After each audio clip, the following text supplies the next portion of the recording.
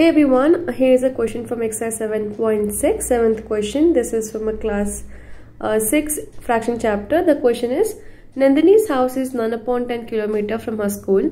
She walked some distance and then took a bus for half kilometer to reach the school. How far did she walk? So they have given two things to us. One is Nandini's house is 9 upon 10 kilometer from her school. That's the distance between school and house.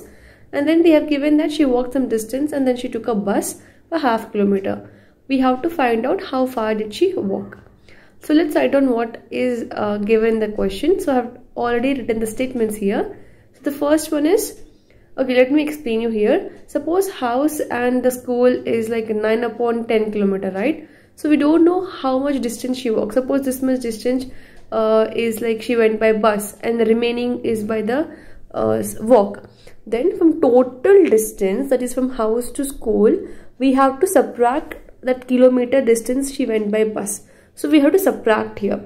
So from total distance from this house to school if we remove uh, distance traveled by the bus we're gonna get distance uh, she went by the walk okay so they have given uh, distance of the school from house is 9 upon 10 kilometer and distance traveled by bus is half kilometer so distance walked by Nandini will be total distance which is 9 upon 10 minus distance traveled by bus which is 1 upon 2 now we cannot solve uh, directly subtract them because they are like fraction so we have to take LCM of 10 and 2 to make them like fraction so LCM of 10 and 2 is 10 now for the first number we don't have to change because 10 is there in the denominator. For second number we have to change.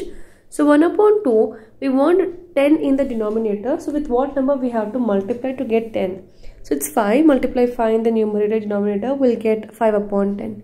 Let's start subtracting. So 9 upon 10 minus in place of 1 by 2 I'll write down 5 by 10 which is the equivalent fraction of uh, 1 by 2. Now it's like fraction so denominator will be 10 we have to just subtract the numerator which is 9 minus 5. So this will be 4 upon 10.